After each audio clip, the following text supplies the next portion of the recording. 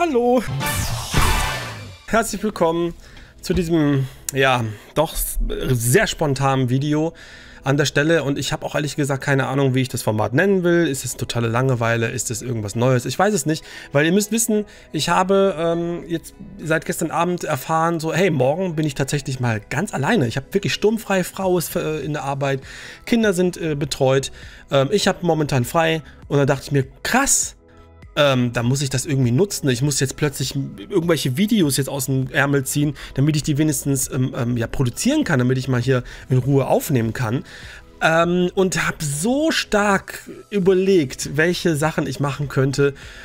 Und ich bin zu keinem Entschluss gekommen. Am Ende ist es jetzt sehr erfolglos und ich sitze jetzt hier und denke mir, ach, weißt du was, scheiß drauf. Ich mache jetzt einfach die Kamera an und quatsch so ein bisschen. Ähm, mach so ein relativ beruhigten und ähm, unstrukturierten Laber-Talk-Video und äh, auch für diejenigen, die jetzt das Ganze einschauen, ey, ihr müsst jetzt hier nicht irgendwie am Ball bleiben, ihr könnt es nebenbei hören, wenn euch das interessiert.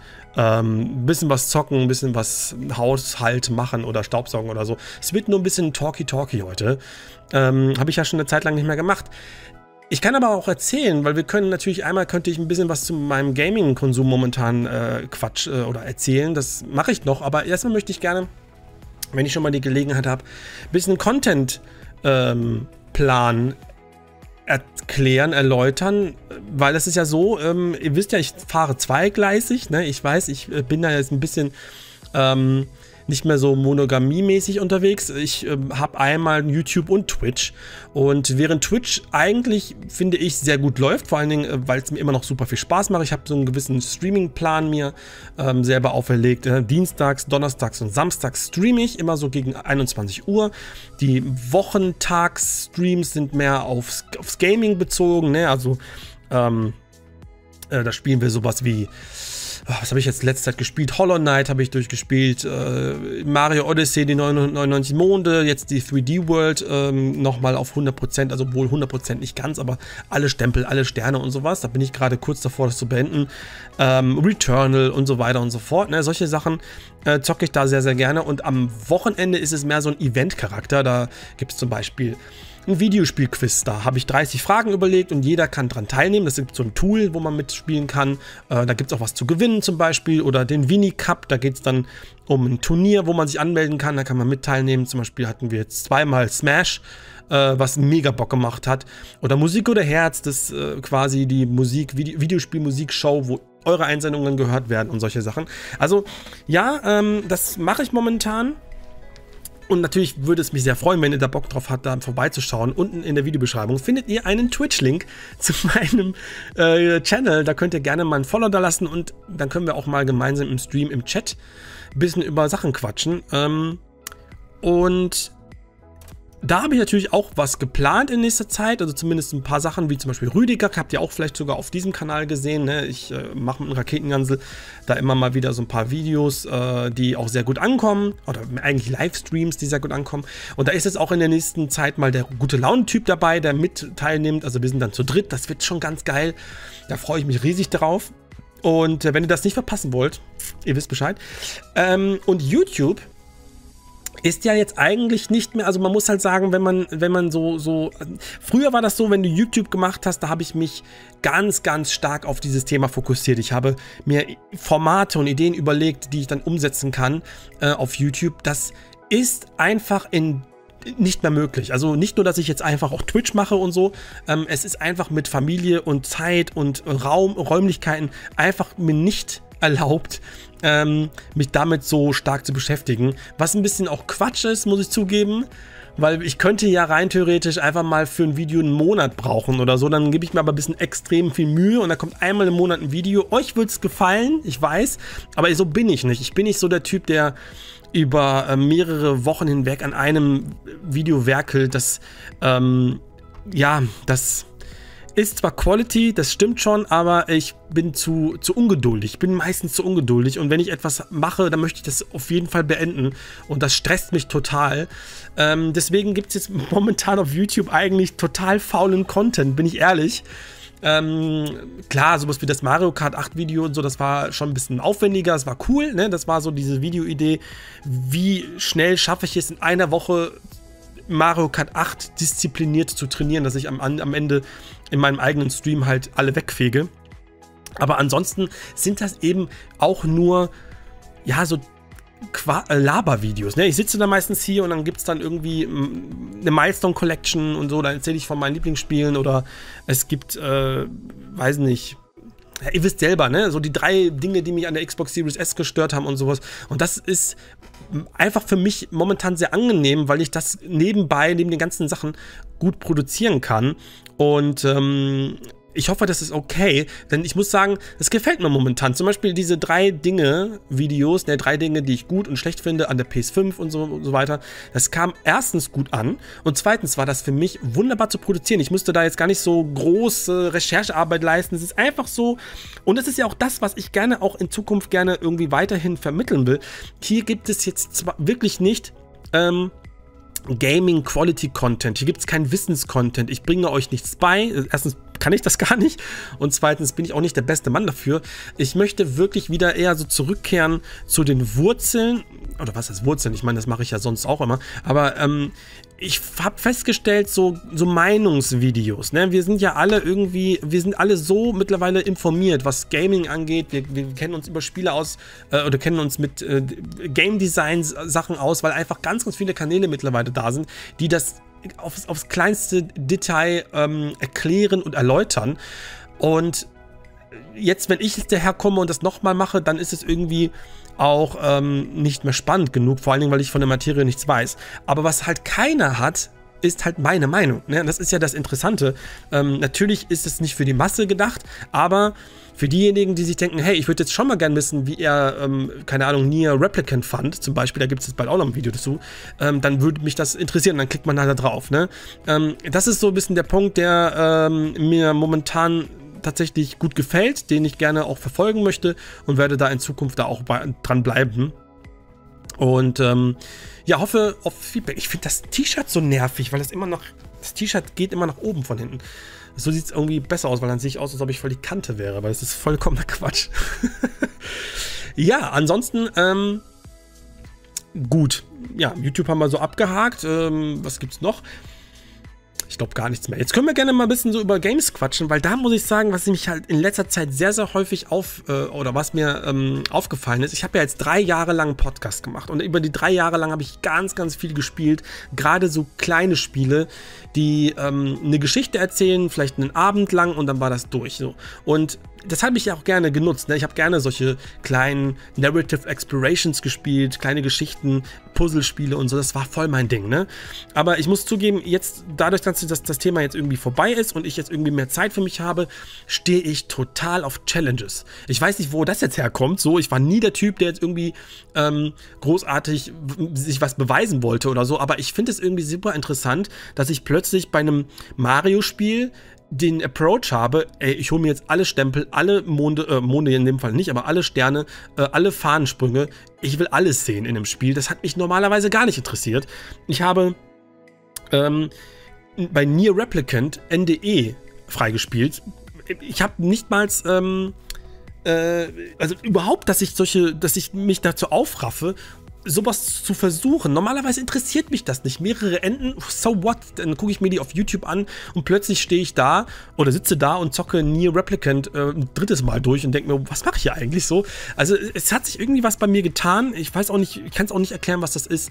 Ähm, das zieht sich über verschiedene Sachen hinweg. Also auch, ähm, dass ich mir Cuphead gekauft habe. Gut, das ist vorrangig für den Stream, aber normalerweise Cuphead interessiert mich normalerweise nicht. Ich habe das damals, äh, finde das immer super sexy, das sieht super geil aus und der Sound ist super, aber ähm, das Spiel reizt mich nicht. Einfach so ein Boss-Rush, äh, der knallhart ist, ist nicht meins, muss nicht sein, brauche ich mir nicht geben. Und plötzlich kriege ich so diesen, dieses Gefühl, ich würde das gerne mal wenigstens besiegen, dieses Spiel. Sehr interessant, auf der anderen Seite hin, äh, wiederum, langweilen mich eben jetzt diese Story Games. Also nicht Story Games im Sinne von sowas wie The Last of Us oder wie ein Resident Evil Village oder sowas, was ich noch nicht angefangen habe, aber da weiß ich schon, das wird mir gefallen, sondern eher ähm, so diese ganz, also Spiele, die ganz, ganz großen Fokus auf Story legen, die eigentlich die Story und die Geschichte als Kernmechanik nutzen. Sowas wie Life is Strange oder generell die Don't Not Spiele, Tell Me Why, fand ich ultra langweilig. Ähm, ich habe zum Beispiel The Maquette gespielt. Das ist so ein kleines Puzzle-Abenteuer, das gab es im PS Plus. Ähm, da geht es auch vorrangig um Puzzeln und um die Geschichte, die sehr romantisch und auch sehr schön erzählt wird.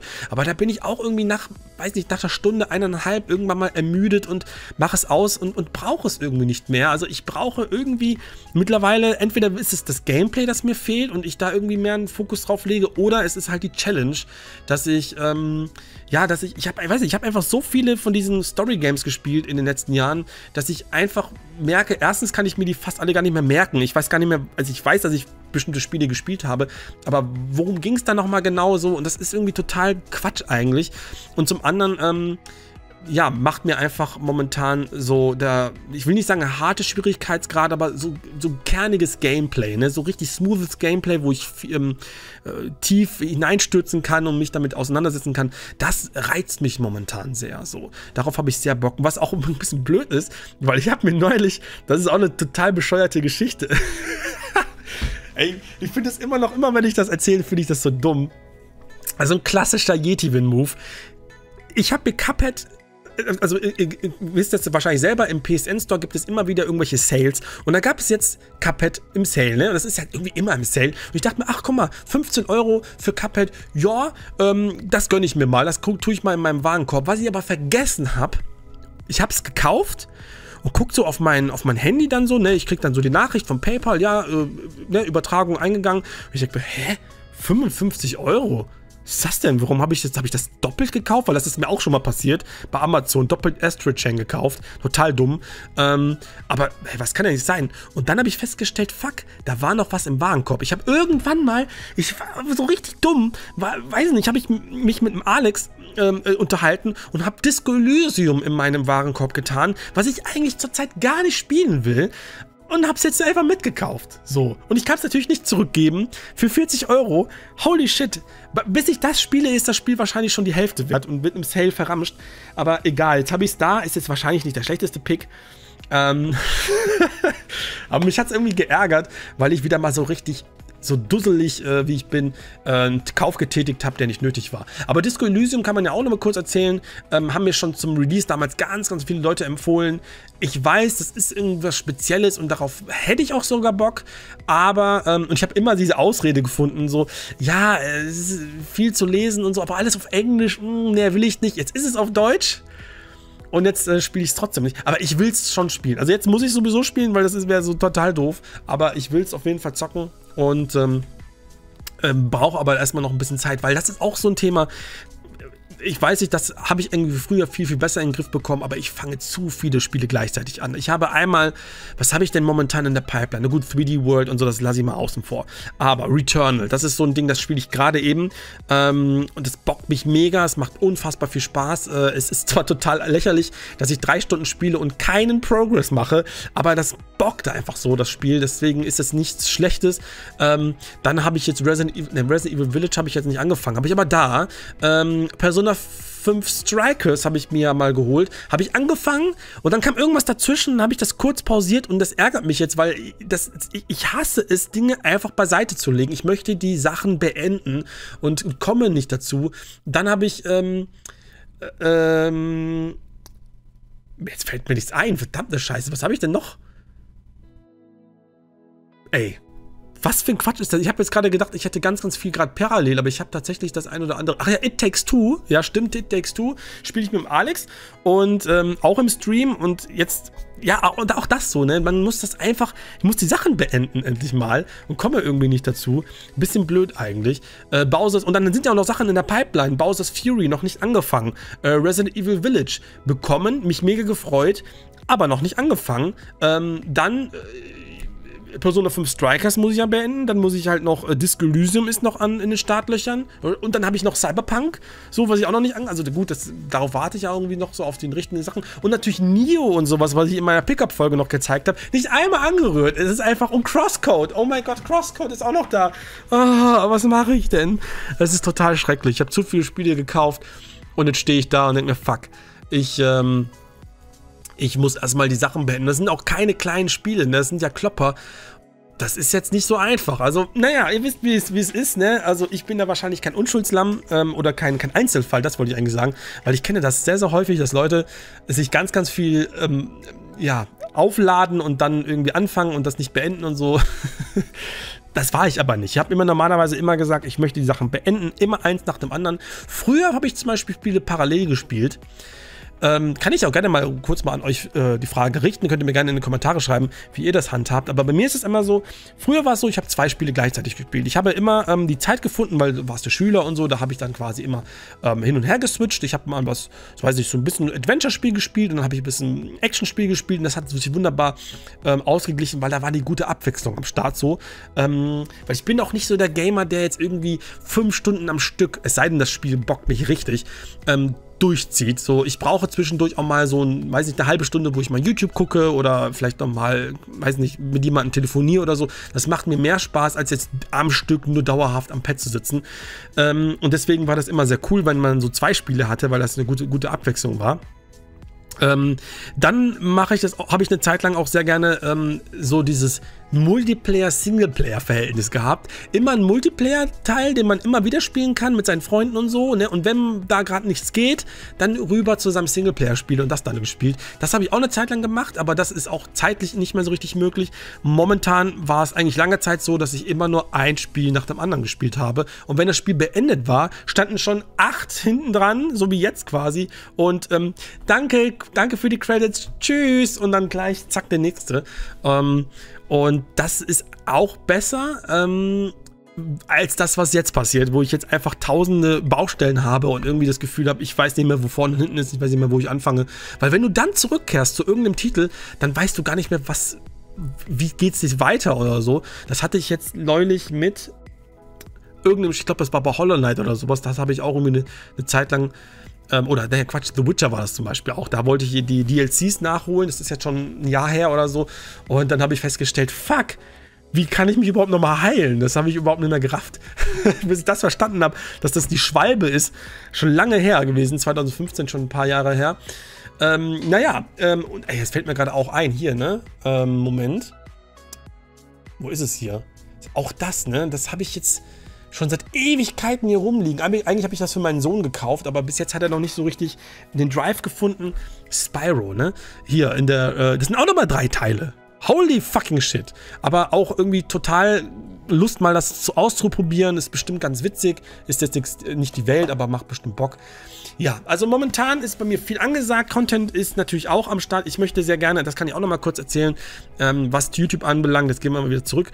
Ähm, ich würde sehr gerne diese drei Dinge, die ich an Dinge nicht, also nein, die drei Dinge, die mir positiv oder negativ aufgefallen sind an bestimmten Produkten, in dem Fall war das ja die Xbox Series S und die PS5, möchte ich gerne ausweiten und zwar auf die Spiele. Also ich würde es ja gerne auch noch auf einzelne Spiele ausweiten. Den Anfang macht Nier und werde da nochmal zwei Videos hochladen, auch eher kürzere Shots quasi, ähm, wo drei Meinungs... Ähm, äh, äh, Schnips, Schnipsel quasi äh, drin verwurstet werden.